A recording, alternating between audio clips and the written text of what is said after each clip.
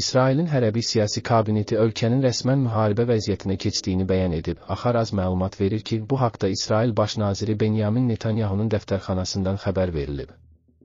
Xəbərə görə, hökumət bu qərarı 40 təlif adlanan bəndi işə salaraq qəbul edib. Əlavə edək ki, sonuncu dəfə İsrail bu bəndi 1973-cü ildə məhşər müharibəsi zamanı qəbul etmişdi.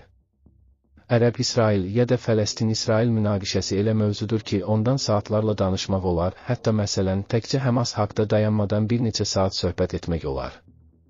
Baxıram ki, mediamızda müəlliflər əlinə keçən tarixi faktları yazır və bununla hökm çıxarmaq istəyir. Ancaq deyim ki, bu mövzu haqqında bir hadisədən çıxış edib hökm çıxarmaq adamı yanlış nəticələrə yönəldə bilər.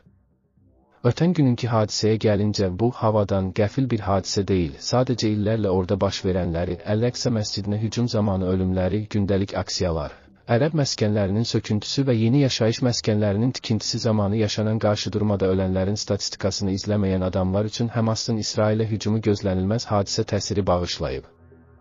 Bu müharibədir. 100 ildən çoxdur davam edən amansız müharibə. Orada tərəflər fərqli olub. 100 il əvvəl bir tərəfdə Haqana və İrqun, başqa tərəfdə millətçi ərəb təşkilatları, tayfalar olub. Bir dövr solçu Fələstinlilərlə İsrail ordusu. İndi isə İslamçı Həmas və ya İslami cihadla İsrail savaşır. Sabah Həmas olmayacaq, ancaq müharibə davam edəcək. Çünki sülh yolunu bağlayıblar. 1993-cü ildə Oslo prosesində Ərəfat və İshak Rabin sülh prosesini başladanda Ərəfata ərəblər əl qaldırmadılar, ancaq İshak Rabini radikal yəhudilər öldürdü. İndi isə 30 ilə yaxındır İsraili radikal sağ idarə edir. Bu nə deməkdir? Yəni radikal sağ deyir ki, 2000 il əvvəl burada İsrail olub, ərəbə burada yeri yoxdur. Hətta Əl-Əqsə məscidinə hücum edib namaz qılan müsəlmanları öldürürlər. Hazırda İsraildə nazirlər arasında sağçı silahlı yəhudi təşkilatlarında vuruşmuş adamlar var. Qarşı tərəfdə də analoji olaraq İsrailin olmaması istəyən radikal İslamçılar var, yəni hər iki tərəfdə güc və iqtidar radikal qanadın əlindədir.